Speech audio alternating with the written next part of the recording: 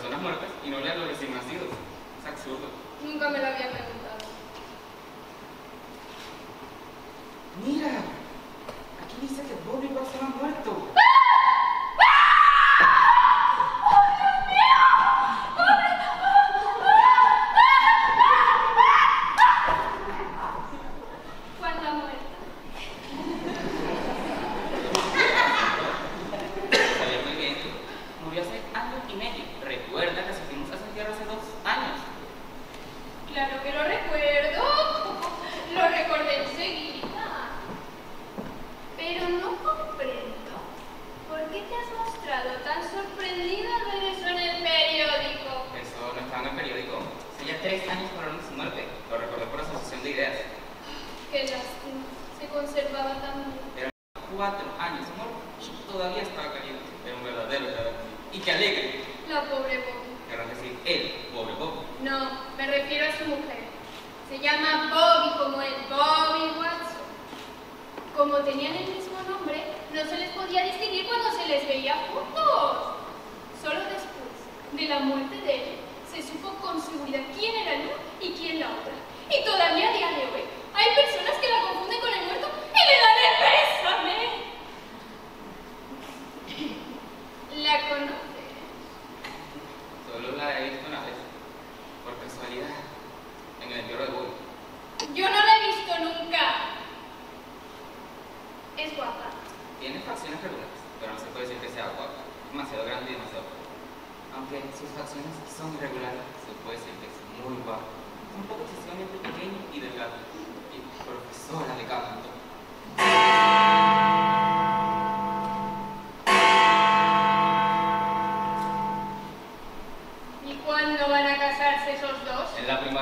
Más tarde, Sin duda habrá que ir a su casamiento. y habrá que hacerles un regalo de bodas. Me pregunto cuál. ¿Por qué no le regalamos una de las siete bandejas de plata que nos regalaron cuando nos casamos y que nunca han servido para nada?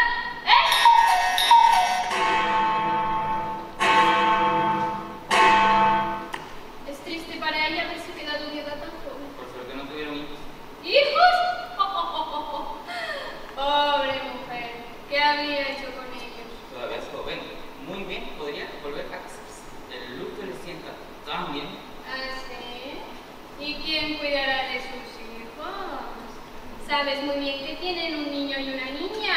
¿Cómo se llaman? Bobby y, y Bob, como su padre, el tío de Bobby Watson, el bien Bobby Watson es rico y quiere mucho. Y muy bien podría encargarse de la educación de Bobby. Sería natural. Y la tía de Bobby Watson, la vieja Bobby Watson, podría muy bien a su vez encargarse de la educación de Bobby Watson, la hija de Bobby Watson.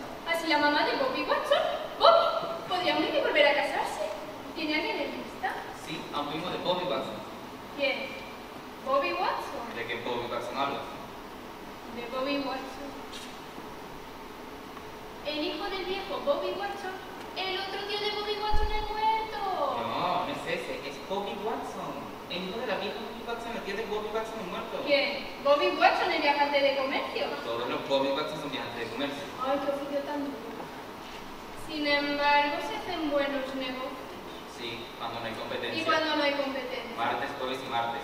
Solo tres días por semana y que hace Bobby Watson durante ese tiempo. Descansa, duerme. ¿Y por qué no trabaja durante esos tres días si no hay competencia? No puedo saberlo todo. No puedo responder a todas tus preguntas idiotas. ¿Dices eso para humillarme? ¿Sabes bien que no? ¡Ah! Todos los hombres sois iguales, os quedáis ahí durante todo el día con el cigarrillo en la boca o bien armáis un escándalo y ponéis morros 50 veces al día si no os da por beber sin interrupción. Ah, sí, pero ¿qué a dos hombres que se la mujer? Ah, fumar durante todo el día. Empolvarse, pintarse los labios y beber whisky.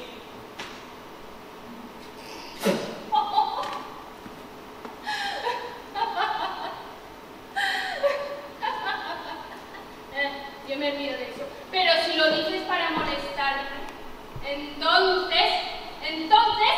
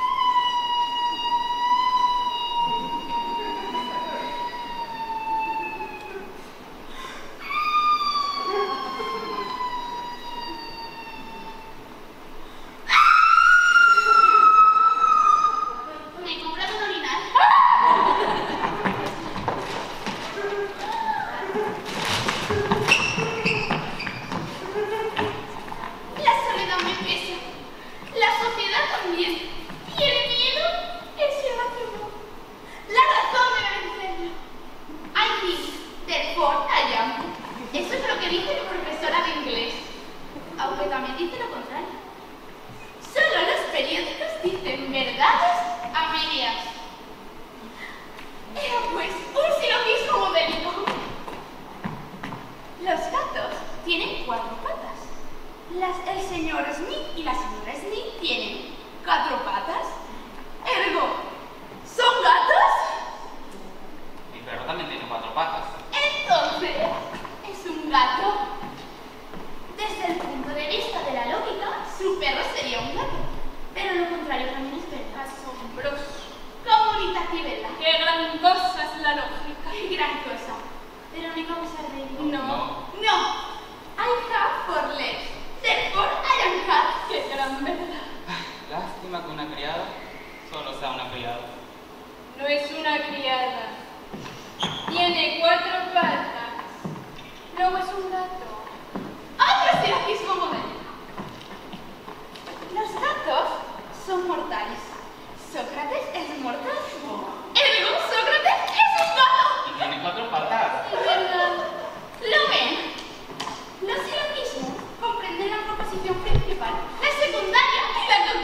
Conclusión. ¡Esta! Lo que es lógico sigue la lógica y lógicamente se convierte en algo lógico. La soledad me pesa, la soledad también. ¿Es la soledad lo que me pesa o es la multitud? Se toma por una pensadora y no tiene ninguna lógica. Qué hermosa es la lógica. La vida pesa, vivir es algo anormal. Al contrario, nada más natural. La prueba. Todo el mundo vive. Los muertos son más numerosos que los vivos. Su número aumenta. Los vivos son raros. Los muertos no existen. Es preciso decirlo. Ellos también te pesan. ¿Cómo pueden pesar las cosas que no existen? Yo mismo me pregunto si existo. Oh, tú no existes, querido. ¿Por qué no piensas? Piensa y existirás. ¡Hago silogismo! ¡Basta ya! Mi pequeña Mary. ¿Quiere hacer el favor de abrir la puerta y hacer que entre el señor y la señora Martin, por favor? Nosotros vamos a vestirnos rápidamente.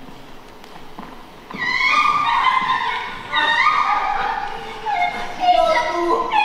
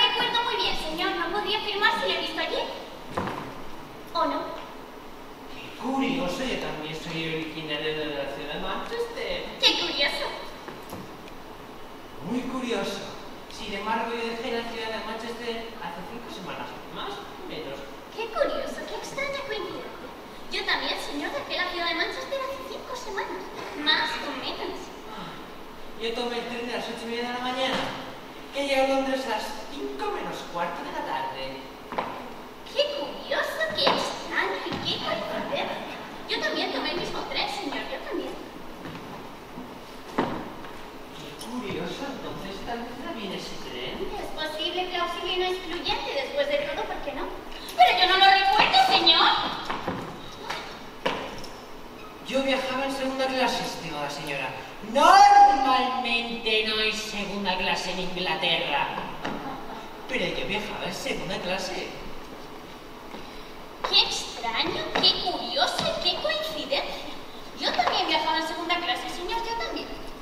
Qué curioso!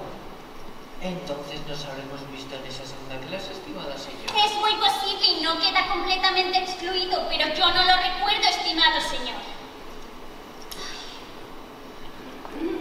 bolsillos. Yo iba en el coche número 8, sexto compartimento, estimada señora. Qué curioso. Yo también iba en el coche número 8, sexto compartimiento, estimado señor. Qué curioso y qué coincidencia. Entonces nos habremos en ese sexto compartimento, estimada señora. Es muy posible, después de todo, pero yo no lo recuerdo, estimado señor. Yo tampoco lo recuerdo, pero es muy posible que nos hayamos visto en esa ocasión. Y si reflexiono sobre ello,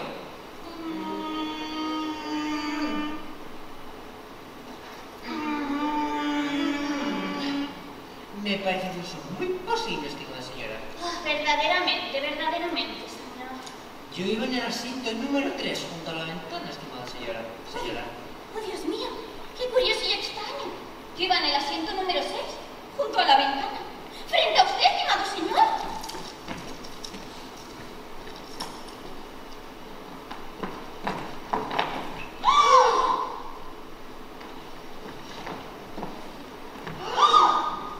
¡Qué curioso y qué extraño! Entonces estamos frente a frente, estimada señora. Es ahí donde debimos vernos. Qué curioso, es muy posible. Pero yo no lo recuerdo, estimado señor. A decir verdad, yo tampoco la recuerdo. Pero es muy posible que nos hayamos visto en esa ocasión, estimada señora. Es cierto, pero no estoy de modo alguno segura de ello. ¿No era usted la dama que pidió que le subiera la maleta a la, a la red? Seguido, seguido me dio las gracias y al final del todo me permitió fumar. Sí, sí, era yo sin duda. Qué curioso, qué curioso y qué coincidencia. ¡Qué curioso, qué curioso y qué coincidencia! Es claro que nos habremos conocido en ese momento, estimada señora. Qué curioso y qué coincidencia, es muy posible después de todo. Sin embargo, Yo, yo tampoco, señora.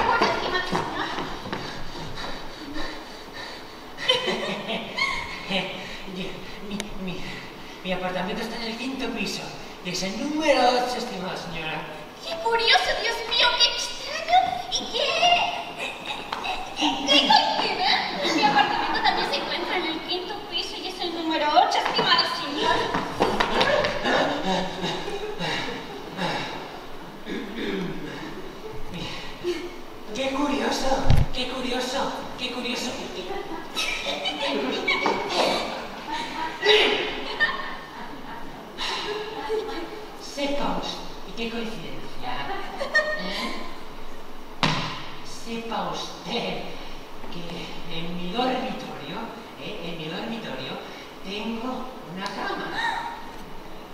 Mi cama está cubierta con un edredón verde. Y la, habitación se encuentra en el fondo del pasillo, entre los letreros y la biblioteca, estimada. ¡Qué coincidencia, Dios mío, qué coincidencia! ¿Sepa usted que en mi habitación también hay una cama? Con un edredón verde y se encuentra al fondo del pasillo entre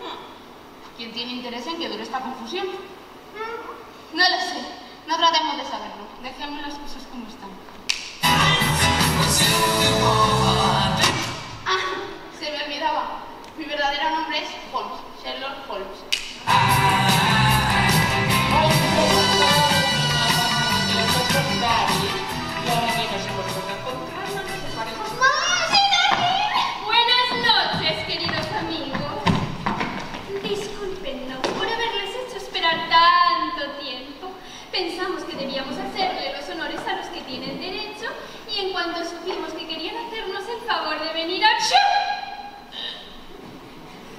vernos sin anunciar su visita, nos apresuramos a ponernos nuestras mejores galas. No hemos comido nada durante todo el día.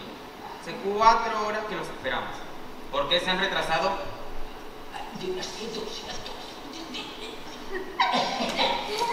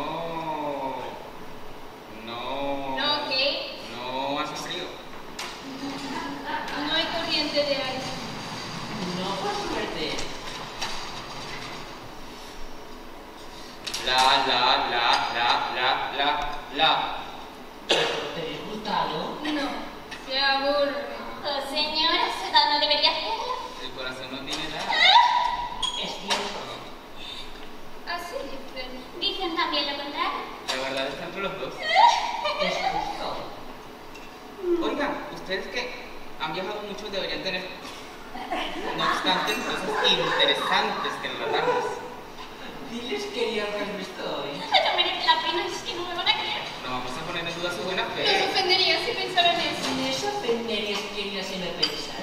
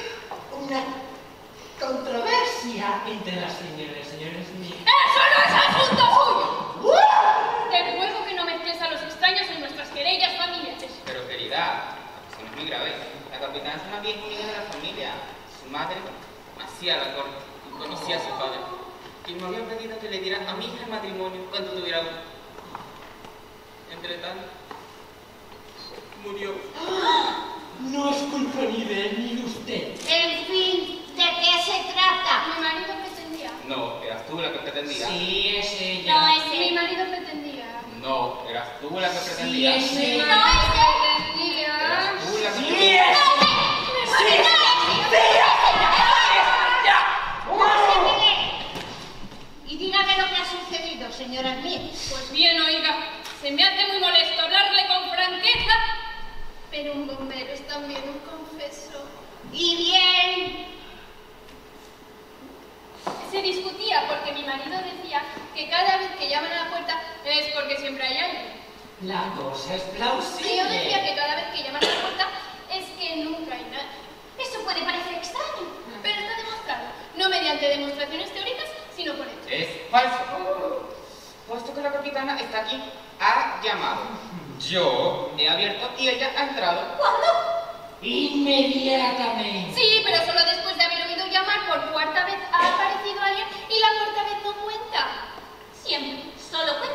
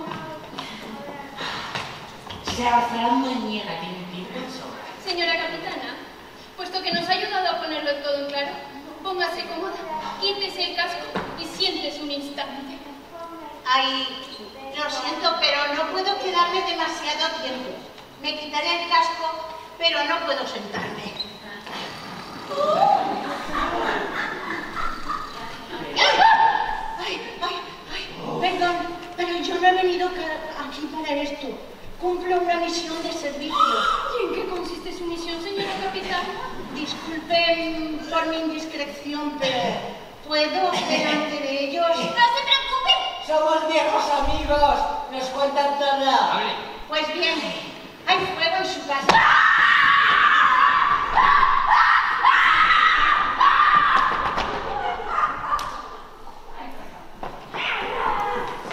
¿Por qué nos pregunta eso?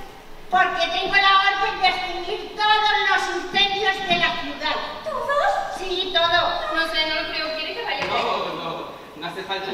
No debo ver fuego. Mira, no se siente el olor a chomquina.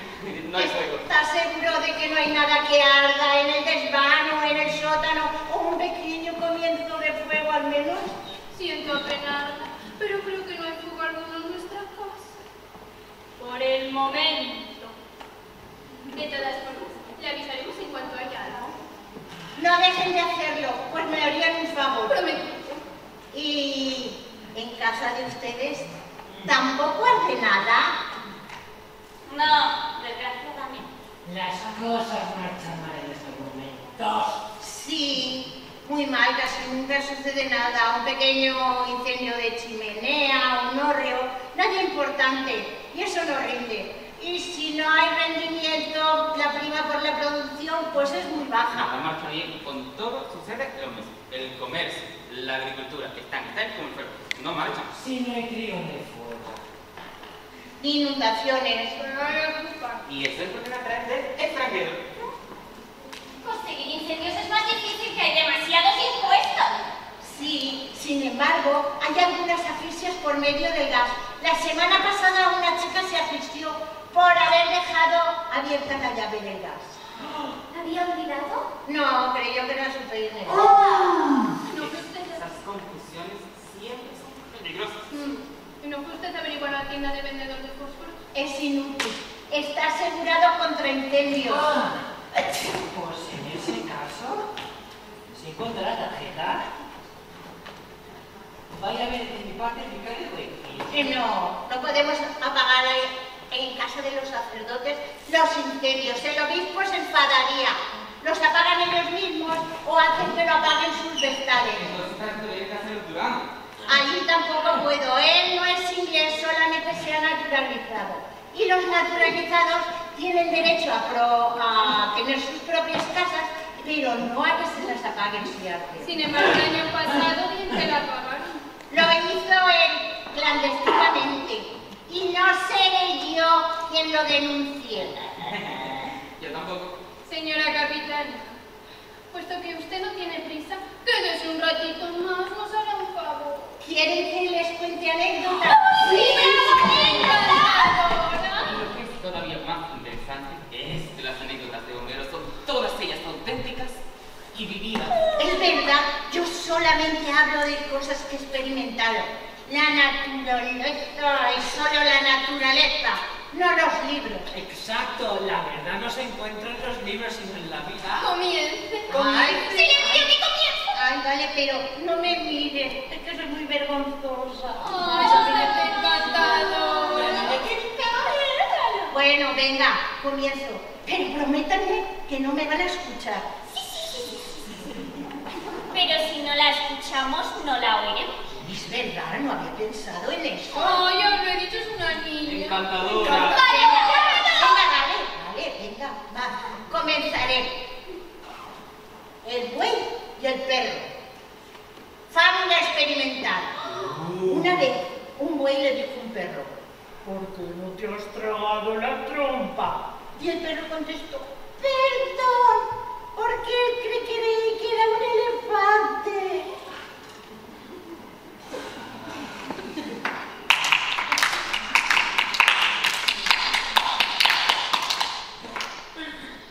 ¿Cuál es la moraleja?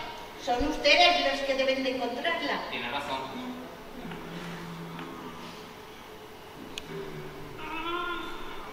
¡Otra! Otra, el ternero. Una vez un ternero había comido, dio a luz a una vaca. La vaca no podía llamarle mamá porque el ternero era varón, pero tampoco podía llamarle papi porque el ternero era muy pequeño.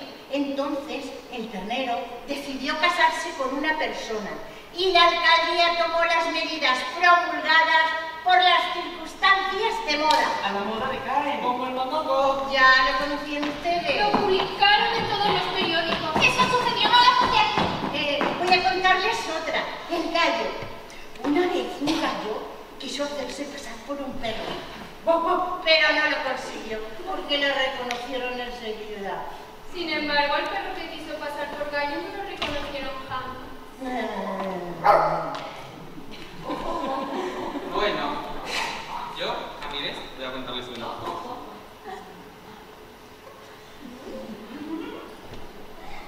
Ya va.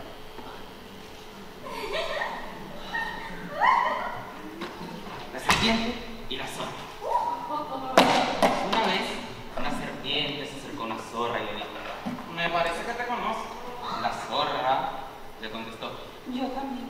Entonces, le dijo la serpiente, dame dinero.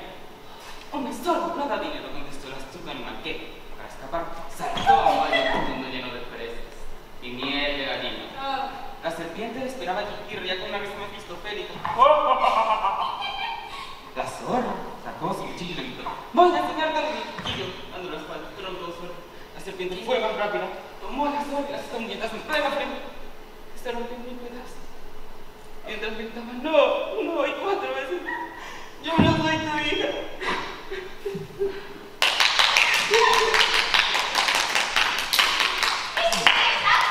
está mal. Alfie, le felicito. No es yo ya lo conocía. Es terrible. Pero eso no sucedió en la realidad. Sí, por desgracia.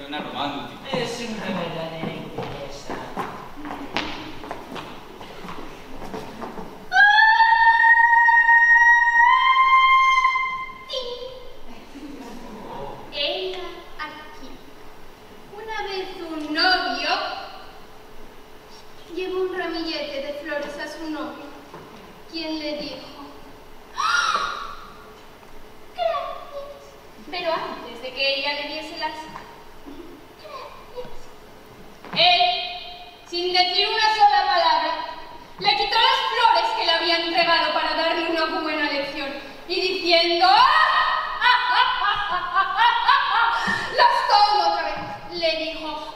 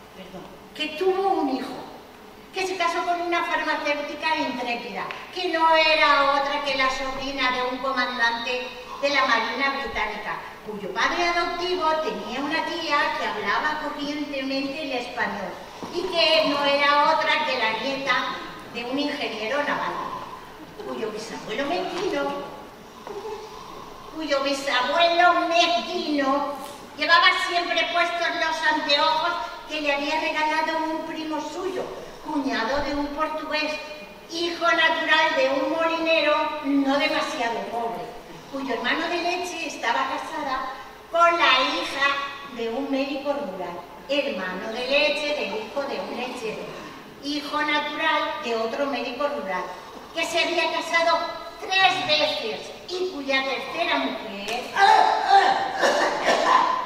Eh, si no me engaño, conocí a esa tercera mujer. Salía con el pollo en un avispero. no era la misma.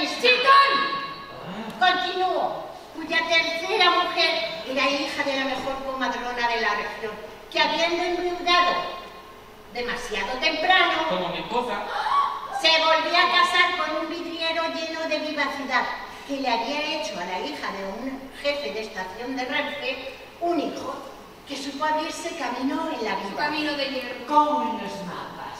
que supo abrirse camino en la vida y que se casó con una vendedora de hortalizas frescas, cuyo padre tenía un hermano que estaba casado con una institutriz rubia llamada María, cuyo primo, pescador de caña, cuyo primo, pescador de caña, también estaba casado con una institutriz rubia llamada María, cuyo padre estaba casado con María, asimismo institutriz rubia. Siendo rubia no puede ser otra sino María. Sí, y que su abuelo había sido criado en el Canadá por una tía suya, sobrina de un cura, cuya abuela materna atrapaba casi todos los inviernos, como a todo el mundo, un resfriado. Ay,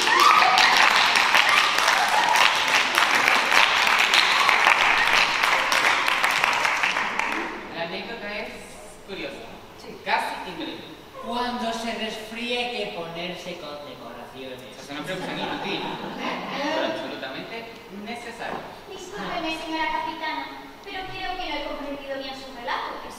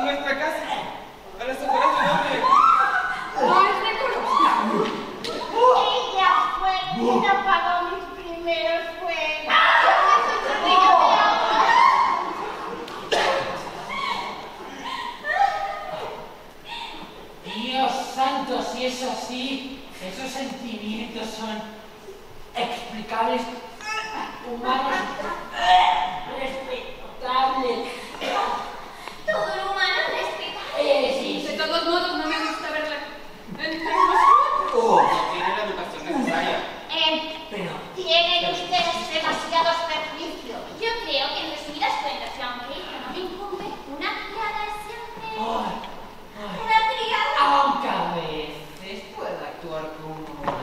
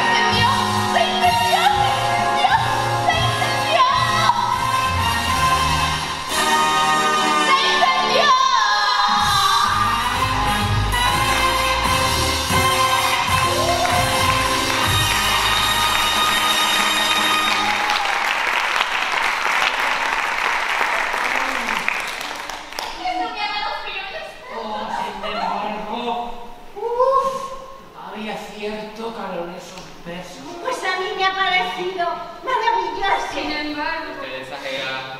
Sí, tal vez. Pero yo es como veo el mundo, mi sueño, mi ideal.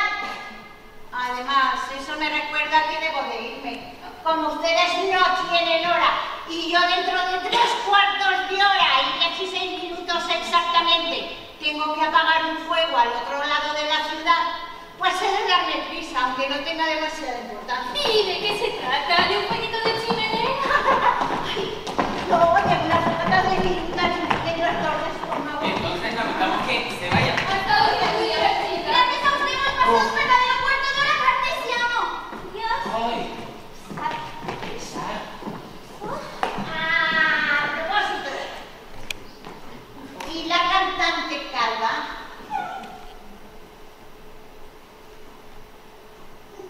Sigue peinándose. De la misma manera. Buenas noches, señoras y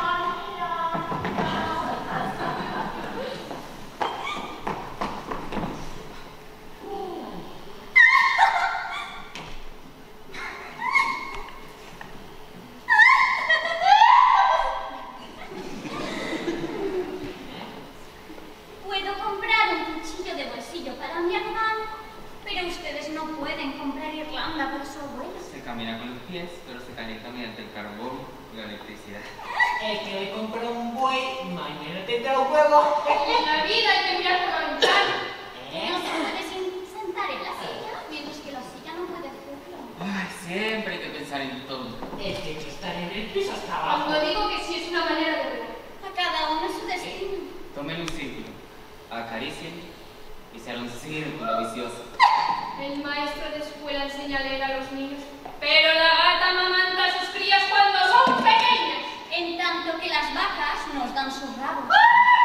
Cuando estoy en el campo me agrada la soledad y la calma. La calma, la calma se me atraganta.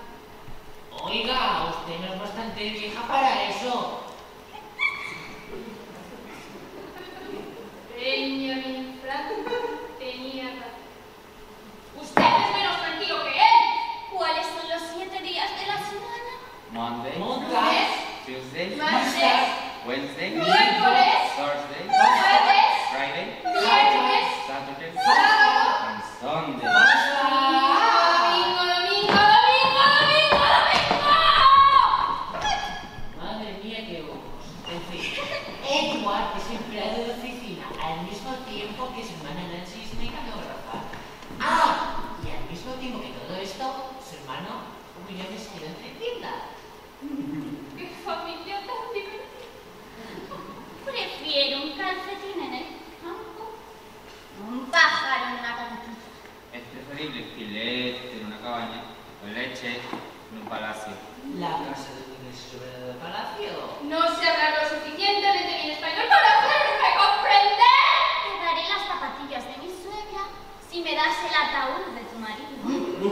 tomémonos visitas para casarlo con nuestra criada.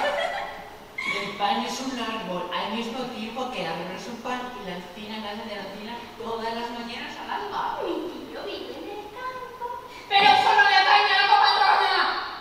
El papel es para escribir, el la gata para la rata y el queso para echarle la trampa. El automóvil corre mucho. Pero la cocinera...